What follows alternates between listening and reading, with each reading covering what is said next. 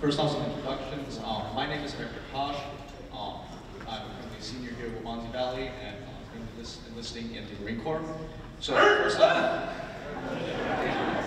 um, first off, thank you for finding time in your busy schedules, and I'll be reviewing today. Um, so let's start with some introductions each of you, if you could. Yes. Um, Stacy Boyer, I'm the Senior Vice Commander at our Naperville VFW post. And I'm Ingrid Kennedy. I um, also hold a position at the Naperville VFW post as the post surgeon. Well, first, happy birthday, Marines. Uh, my name is Stephanie Kifowit. I'm the state representative of the 84th district, of which Waubonsie is in the 84th district. Um, as was mentioned, I served uh, four years active duty in the United States Marine Corps. I'm the only enlisted one, I guess, on this panel. Um, and um, so I did four years of active duty, and then I've been a state representative now for over 10 years. Um, thank you. Actually, I was enlisted too. Oh, you're I- awesome. I Me too. I I love prior enlisted. They're the best officers ever. I just want to thank um, for inviting me, and thank you guys for the warm welcome, and thank you for my panel of peers. Um, I also served for a small stint at the Naperville VFW as senior vice chair. I'm currently a career professional, though, and um, I'm happy to be here today. All right, so let's start off. Um, so first question for you all. Um, how did you come about deciding that you want to serve your country? Who wants to go first? Um, Anybody want to? so um, back in high school, I was involved in Civil Air Patrol, which is, they have a cadet program and it's the civilian auxiliary to the Air Force. And um, at, at that time, I wasn't sure if I was interested in the military or not, but I got involved with that. And I come from a family where there's a lot of people who have served, although um, we didn't have ever had uh, a female in the service in my family at that time. Um, but all the way back to the Revolutionary War, my family served in the military. Um, so at one time, uh, when I was in high school, we got the opportunity to go on an orientation flight um, through the Air National Guard unit at O'Hare Airport, because that's where I was located at the time.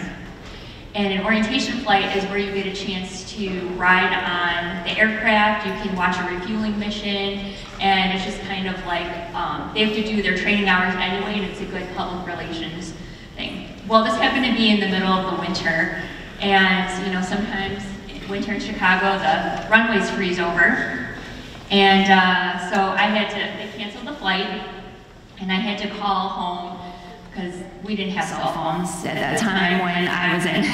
So um, I had to go use one of the phones at their offices, and um, they happened to have one in the recruiter's office. So I went into the recruiter's office, called my parents, let them know we're on our way back, and the um, recruiter was like, "So, like, what are you planning to do after high school? Do you have money to pay for college and all this stuff?" And at the time, I was not prepared to enlist active duty. Um, I just didn't feel like that was um, my path for me. I wanted to go to college right away, but I also had that love of country and patriotism. So I found that this was another opportunity to be able to serve.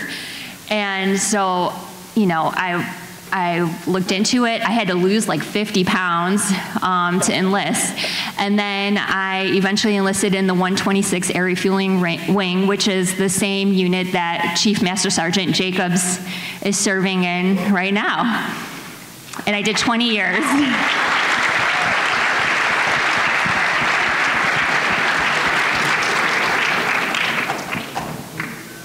Should? All right, I'll go. Um, I don't have a good story like she does. Um, So my parents divorced when I was in high school, and they fought like cats and dogs. And uh, after high school, I moved out, and I moved in with a friend of mine, and we were hanging out, having fun one weekend, and I was sitting there thinking, like, college just wasn't for me. I was trying community college, it didn't fit. Uh, I didn't know what I was going to do, and I thought, well, high school went by pretty quick. So I'm, I'm, I want to do something. I don't want to do nothing, and, you know.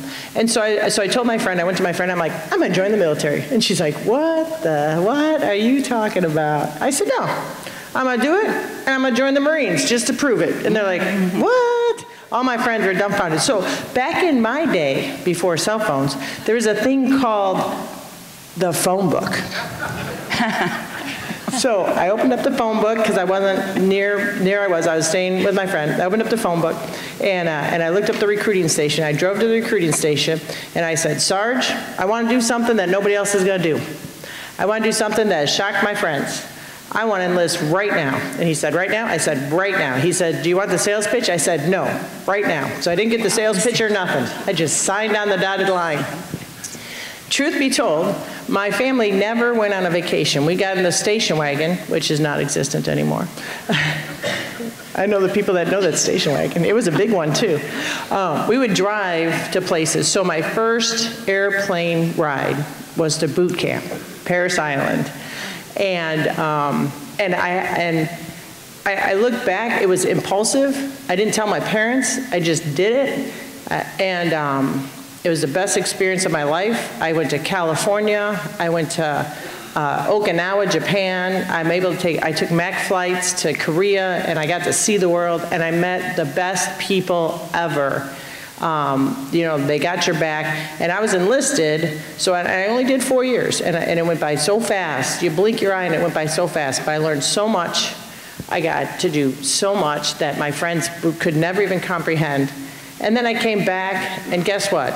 Then I was ready for college. And I got my GI Bill, and I got my Pell Grant, and I got my MAP grant, and I got uh, my Illinois Veterans Grant. And I called up the sergeant, I said, Sarge, why didn't you tell me about this Illinois Veterans Grant? And he said, you didn't need the sales pitch. So it was the best thing ever I did, because I didn't know what to do about college. I didn't know what I wanted to do with my life. I went in, I got the experience I needed, I got out, and then my life has just been uh, blessed ever since. So that nobody in my family's been in the military. Uh, you know, my mom cried when I told her I signed up, but she couldn't do anything about it. I was 18, um, and uh, it was just an impulse. It was an impulse that really changed the trajectory of my life for the better. I think I would not be here today if I didn't join the Marines. All right,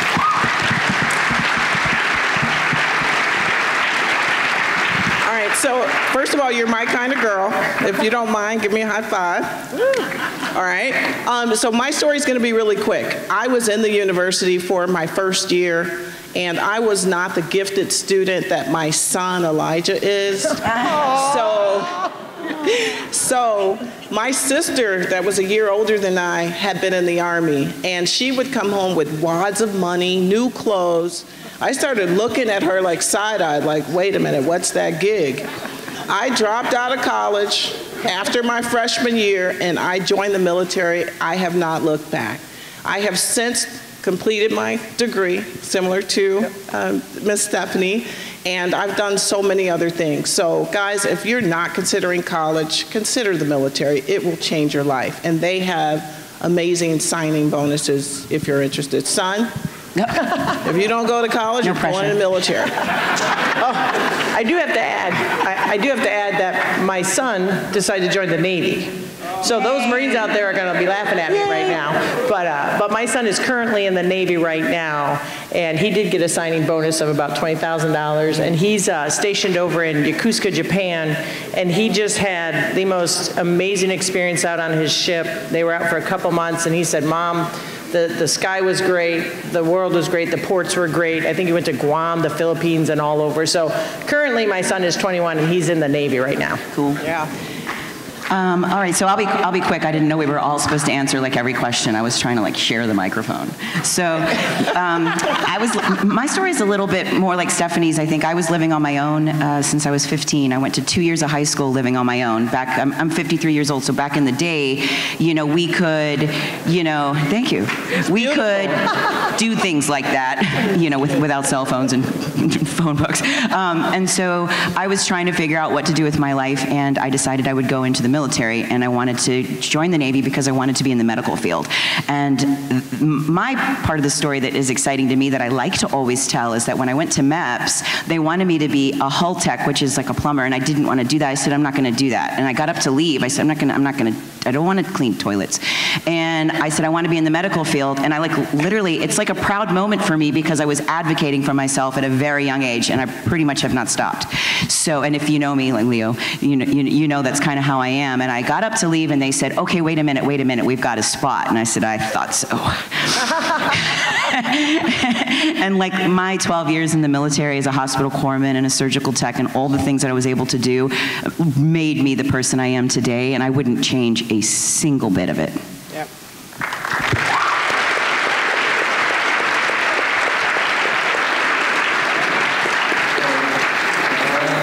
I know you guys think I described it, makes me excited for uh, my future as well. So, um, so back in the uh, golden era of four cell phones, as you will say.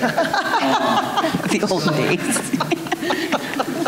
Um, so, were there any specific people that supported you through your decision or um, drove you to make that decision? You guys described some. Was there any somebody, somebody specific that stood out in your mind as you think about it right now?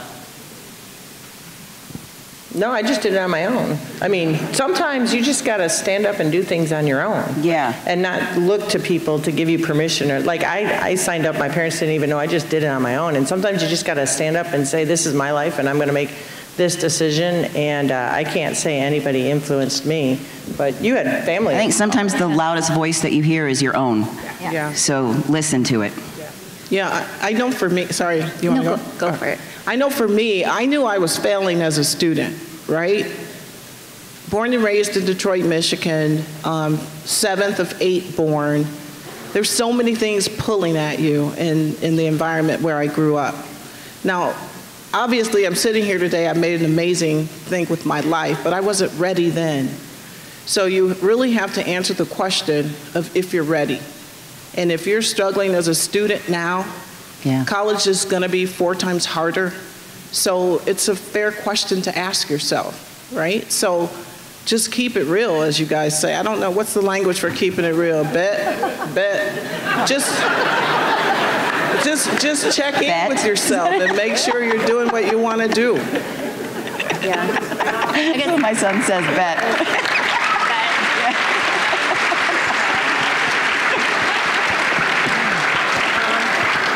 I guess I, I would just say, the- so the way my birthday landed when I graduated high school, I was 17 years old, so I had to have a parent sign my papers in order to enlist. And, um, you know, growing up, uh, my dad's a Vietnam vet, um, grandparents were World War II vets, um, very patriotic. Every night at dinner when we said grace, we always end the prayer with, and God bless the servicemen and women who are serving for us. So, you know, I've always had that su- support from my family, and, um, you know, I had to put together a presentation for another school I'm, I'm going to speak at later, and I was looking through my pictures, and I, when I graduated boot camp, when I graduated officer training school, when I retired, my parents were there supporting me, and I have pictures of them with me, and I, I'm so grateful for that, because not everyone that I served with had that support, so, um, but you also get your family from your servicemen and women that you serve with. So even if you don't have that support at home, you will now have that support when you're in the sure. military. Yeah. That's for sure. Oh, absolutely.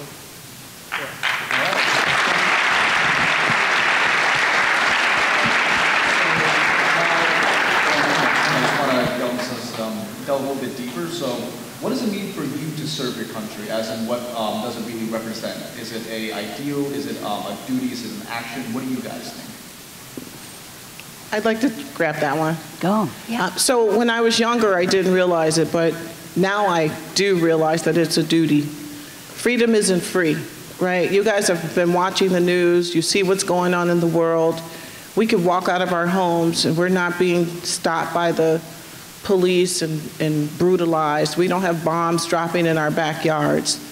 This isn't free. The men, the great men and women who serve to protect our country, it's an awesome privilege.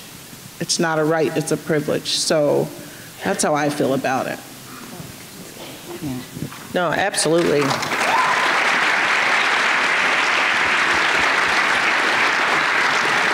And I, I, can say when I was in, so I did, we didn't talk about jobs in the military, but we might, I don't know. But I did, I did uh, administration, which is really, really exciting.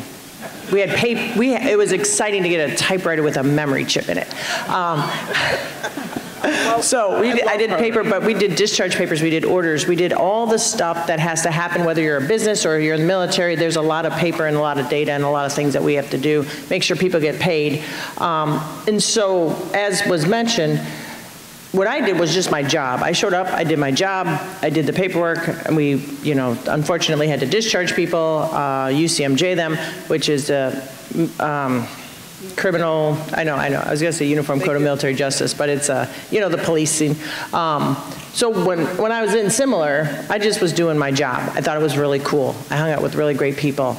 But now that my son is in, and, and that I'm an adult, the gravitas sits in, because my son is right there if something happens with North Korea. He's right there if something happens with China.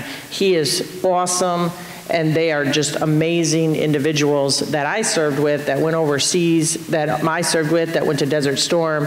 I mean, even though I was at Camp Pendleton, and, and you get that in the military a little bit. You get, get a little bit of left behind guilt, because I was at Camp Pendleton, and when the reservists were called up, we did all their transfer paperwork to get them over to Desert Storm. So we could not leave. We had to be there for them. We trained them. We made sure they had all their gear. They made sure they had everything they could be to be as successful as they could in Desert Storm. And you do that, and that's your job. But then when you sit back and you're like, wow, we did all that. And I did all that when I was 18, 19, and 20. And then I was overseas at 21. I was managing the lives of all these reservists getting called up to active duty. And when I look back at that, I am just like, that's amazing. And right now, my son is part of the, the core group that manages the radar systems on a battleship, the USS Ralph Johnson. And that's just amazing that he is being respected as an individual when he just turned 21. And it's just awesome. And so that's what the service is.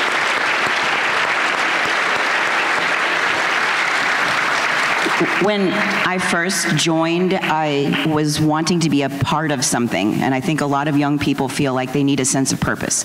And for me, I loved my country, I knew I felt patriotic, but I wanted to be part of something bigger than myself.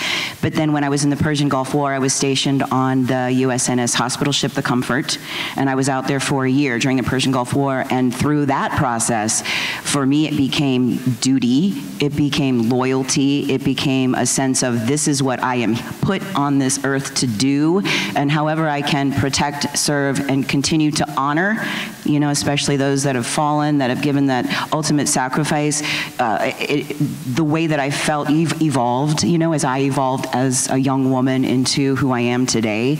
But duty, duty, and sense of purpose is always that foundation. Absolutely. Yeah. I mean, I can't think of anything like other than what you guys said. Uh, I, yeah, I was just say the same as what my sister said. So, from hearing all that, I can, I think I can confidently say that you're all incredible figures of admiration for all of us here. And I want to go a little deeper into, uh, here, uh, some more individual questions. So Representative Kifowit, uh, what would you say, or how would you say your military life um, and your experiences while in the armed forces influenced your position as a state representative, whether it opinions or anything such? Well, I think that um, ultimately, when you go in the military, you're mission-driven. And, and when you see a problem, you have to fix it. You're, you're, you can't go to somebody and be like, uh, there's this problem. This first sergeant's gonna be like, fix it, fix it, Marine, fix it. So I think that foundation of being mission-driven has been everything I've ever encountered after that. Um, I started as an alderman with the city of Aurora because there was, um, I had two young kids at the time, and the playground across the street from my house was in disarray, and I wanted it fixed, and I was upset that it wasn't fixed. So what am I going to do? I'm going to take out the guy that that holds the office, and then I'm going to do it because I got to do it because I'm mission driven. So I was an alderman. I won my election by uh, 16 votes. Every vote counts, my friends. Every vote counts. 16, one six. Um, and I was an alderman for nine and a half years, and then when the state of Illinois, the position for state representative came up, I, I knew the people that were going to run, and I was like, these people aren't going to do the mission that needs to be done. And, and so I went and I, I beat them as well, and so then, and every year I'm a state rep, and every year I, I, I- I know we got to do better and better and better, and the state of Illinois is better today than it was when I started, but I didn't have that mission-driven mentality before I joined. I was, I was kind of shy. Mm. I, you know, I didn't really talk to people in high school. Uh, a little nerdly. I had bad hair. God, those perms were terrible. But, but when you get out of the military, you have confidence. You, you, you speak up, and you're, you're able to get the job done. And that is what I, I think is why I, I led to that, that, and we're still mission driven. Like I'm part of the Women Marine Association, and we're still mission driven. We, we are here to help, and when we see a problem, we stand up and we take it and we go. I think that's just a military thing, uh, not just a Marine thing. We're just louder about it. But uh, I think I think it's a military thing. But that's that's the foundation that I think we draw from.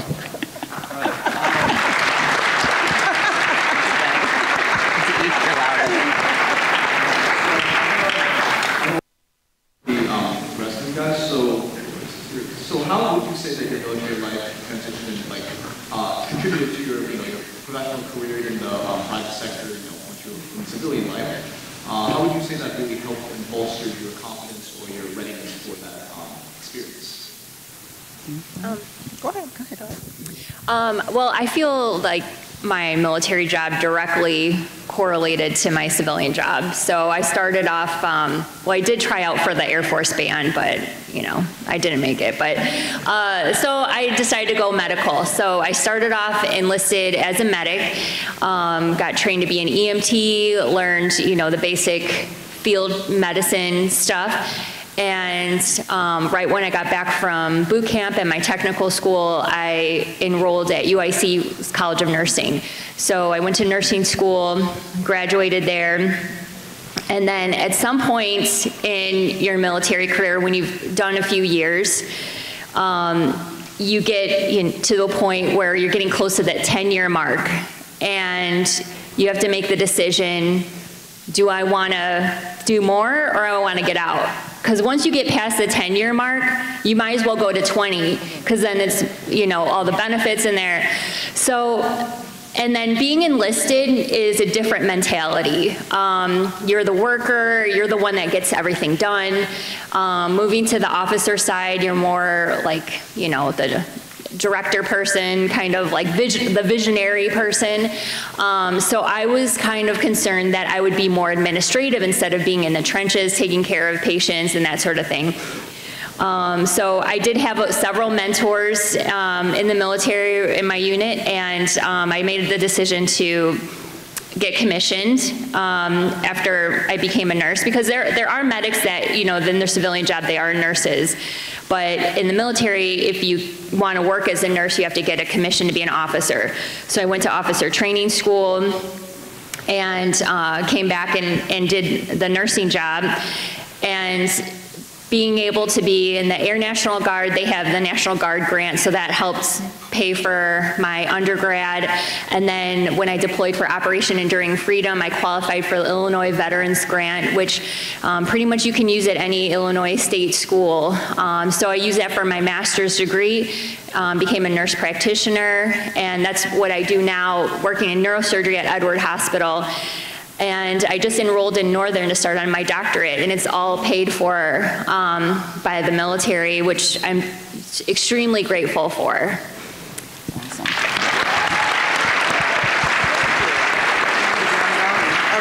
Yeah, so your, your question was, how do you carry it forward? Uh, well, what, what we Your- wanted to know, right, was um, how would your experiences in the military life, Right. how did that translate into your, you know, Right, professional and right. So I would just want to start by asking or or making a comment about purpose, right? I know a lot of young people are trying to figure out who they are and what they like and what does God, what's the plan that God has for my life. And I will say that I believe whatever you are good at, whatever you enjoy, even love, that's how God's blessed you. So for me, the military helped me to see that I love the camaraderie of people. I love the camaraderie of exercising in a group, and I love the camaraderie of problem solving with a team. Because the military trains you to teach your team to be able to pick up the torch should you die in battle. So, what does that mean? My job is to train, to have fun and camaraderie, and to develop and to continue to evolve. And I do take that with me every day to work. I'm known for being loud. That's why I'm like, I love you. Um, I like to have a good time, but I could also be very serious. Elijah, would you agree? no, but seriously, your purpose is what you're good at, what you love. You don't have to spend years trying to figure that out. You have it just wake it up inside. And the military really helped me to live that out loud. Mm. Yeah, that's great.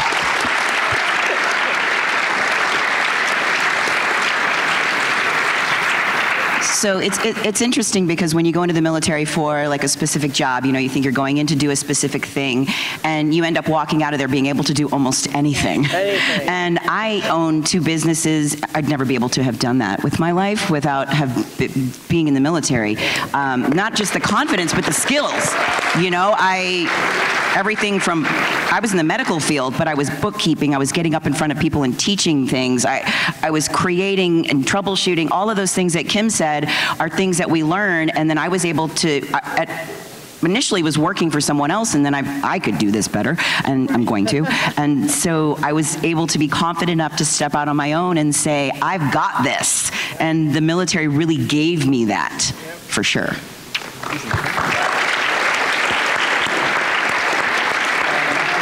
Um, I just want to ask one last question, let's, uh, just one sentence response. So what advice, and this is sort of a personal one for me as well, so what advice do you have for students who are thinking about serving in our armed forces? Go for it. Just do it. Hoorah. Don't even, don't All right, even. come on now. Come on, girl. All right. Come on, girlfriend.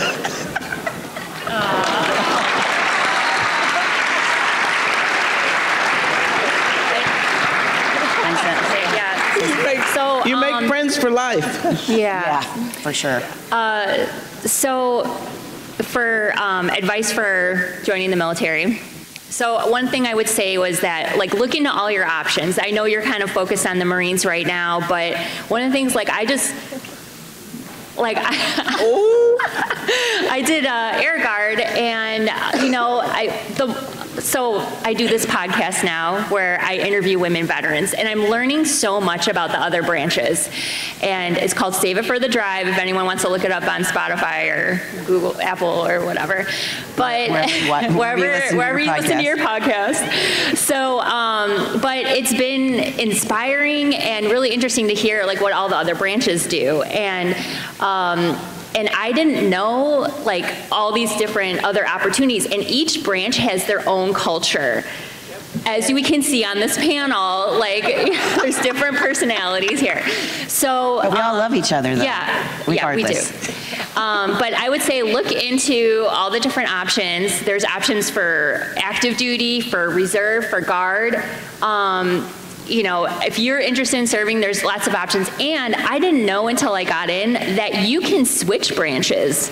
And um, so you could, if you find out that, you know, I know a lot of people who are in a couple years and something happened and, and they, you know, they wanted to get out but they still love their service. Maybe that wasn't the right culture for you, and there's another branch that's totally different. Or you can switch jobs, and and there's lots of options. And um, and and like Stacy said, don't take no for an answer. When sh- when she was offered a job that she didn't like, you don't have you're you don't have to listen to them until you sign the paperwork. Right. So you're still like a free agent, and you can you can you know get what you you want to do, and look for mentors um, because there's going to be people that you work with that are going to inspire you and, and help you throughout your career. So make sure you find out those people, those good role models to kind of model after. All right, I'll just say one really quick thing. Uh, If you go in, no matter how long you stay in, always really seriously consider staying in as a reservist or an active reservist. It was the one thing that I didn't do. I was in for 12 years, and I didn't have enough information, and I really missed something with that. So really look into that. Don't just do four and then get out. If you have the ability to stay in reservist at some capacity, look into that, please.